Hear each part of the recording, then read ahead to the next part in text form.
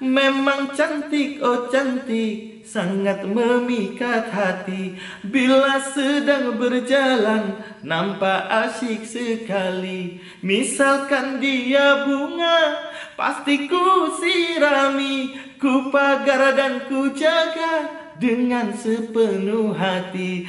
Biar akan ku coba menghampirinya nanti Hai, ketemu lagi dengan Aidil Fikri di sini. Apa kabar kalian semuanya, para subreker aku di mana pun kalian berada? Pastinya nih ya, hari ini aku yakin walaupun hujan-hujan, mendung-mendung, dingin-dingin, kalian semuanya tetap keadaan sehat walafiat, badannya hangat, penuh cinta, penuh kasih sayang ya. Hari ini khusus buat kalian semuanya yang cantik, oh cantik sangat memikat hati. Oh hey. Hari ini kita akan ngereaksiin Ebi nyanyiin lagu cantik waktu di konser kemenangan kemarin ya, konser mini ya. Berarti ini lagu ketiga yang medley nih setelah kemarin ada beberapa lagu tuh kemarin ya. Ada lagu Sunda, ada lagu apa lagi tuh gue lupa deh lagu-lagunya.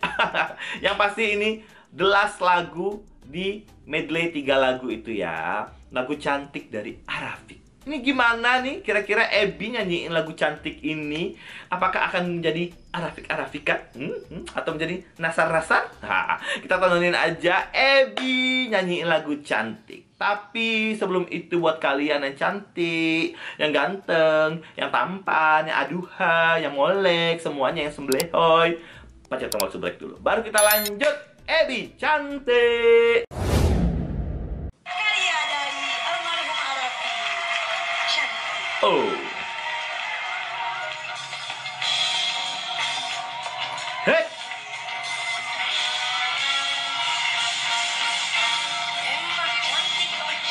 Asik.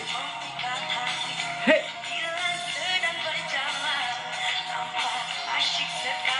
Ais. Aransemennya dari awal udah dirubah agak-agak bosas-bosas gitu nyanyinya Ebi lucu sih dibikin kayak gitu Hei hmm. Oh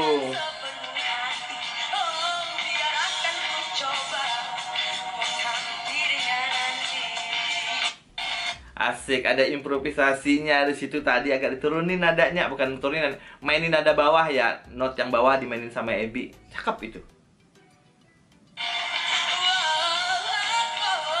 Oh.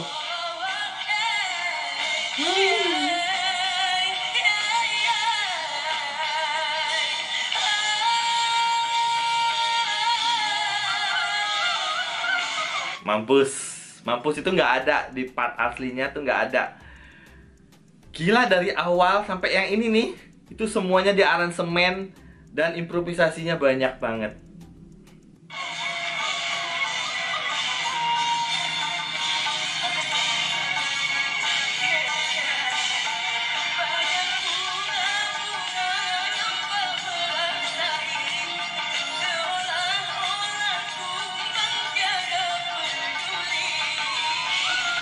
Ini Ebi nyanyinya bener-bener gak kayak Arafik, gak kayak Nasar.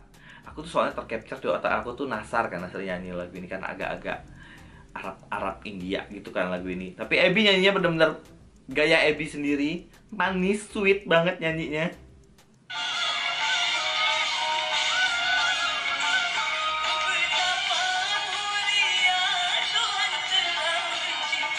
Ah,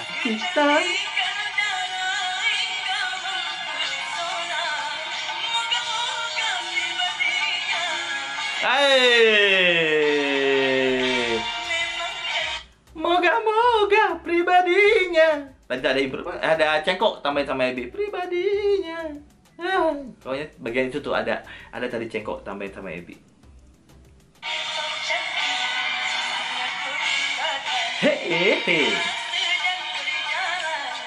Oh, jangan. Oh. Oh. Oh. Pasti gimana tadi ya? Pasti ku sirami. Banyak banget ini improve-improve-nya. Lagu ini kan udah familiar ya di semua orang nadanya segimana, notasinya segimana lah ya. Jadi ini di improve ini jadi kayak oh, beda. Oh, beda. Dan ini Ebi sambil sulap ya. Ku coba.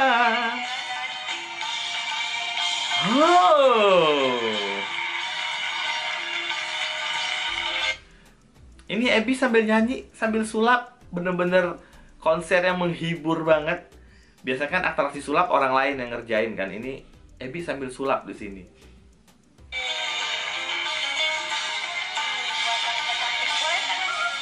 Boleh tangannya?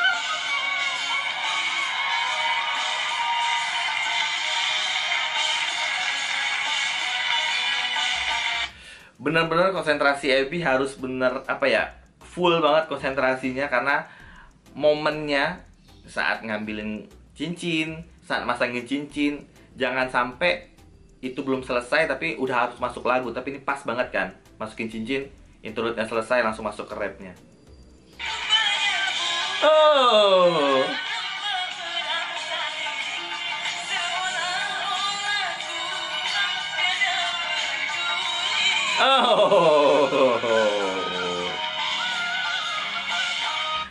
dengar tadi kumbang kumbang tiada peduli.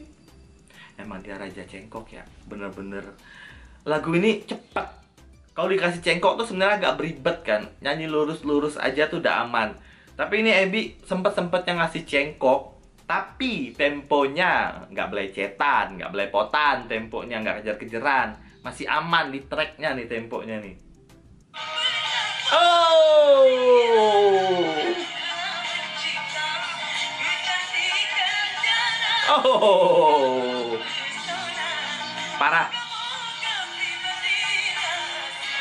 oh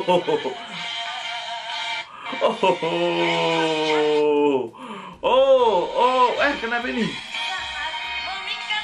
Tunggu dulu. Gila itu full improvisasi. Parah itu full improvisasi banget. Banyak banget. Gila ini Ebi.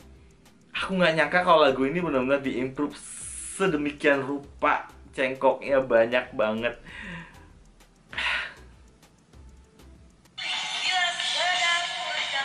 eh. Oh misalkan.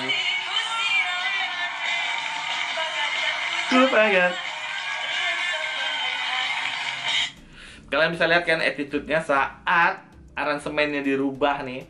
Cara Ebi nyanyinya pun dirubah improvisasinya pun beda. Ebi nggak main-mainin cengkok cuma notasinya dimainin ke bawah ke bawah ke bawah ke bawah mainnya. Musikalitasnya harus tinggi nih eh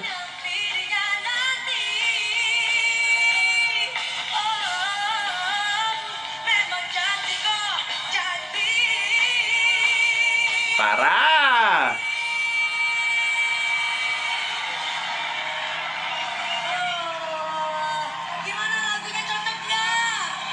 Oke.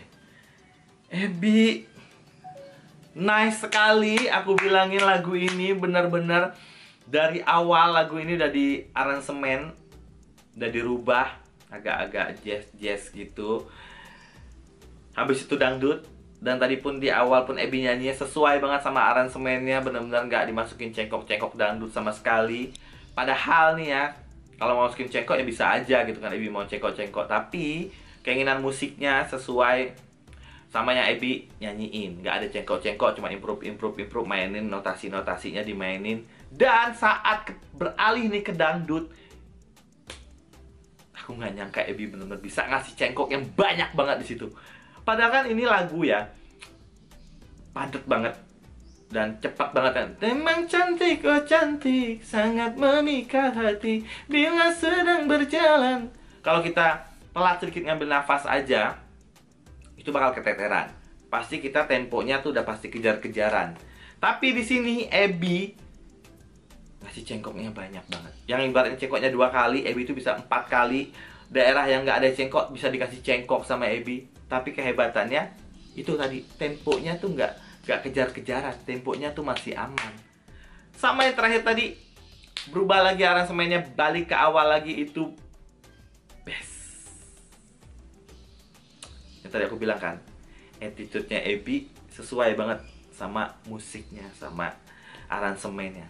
Oh iya ketinggalan. Tadi yang sambil sulap ya sambil sulap. Ya itu harus benar-benar dihitung banget detailnya harus benar-benar konsentrasi banget. Itu tindakan apa yang dilakuin Ebi ngambil cincin lah masangin cincin. Itu kalau telat sedikit juga bisa buyar semuanya berabe semuanya. Yang pasti lagu cantik ini Ebi tampil dengan keren banget menghibur karena ini konser jadi nggak terlalu serius-serius banget. Nggak yang terlalu yang kayak menggelegar menggelegar banget. Tapi hiburannya dapet. Uh, kemampuan vokalnya Ebi juga ditunjukin di sini. Aransemennya tetap ada tetap dirubah aransemennya. Dan ini package konser yang keren banget keren keren keren keren. Sama seperti kalian semuanya yang keren banget. Aduh hai banget. Apalagi kalau kalian semuanya langsung subrek channel ini ya. Sama loncengnya dinyalain dan share ke semua sosial media kalian. Sampai ketemu di video selanjutnya. Bye bye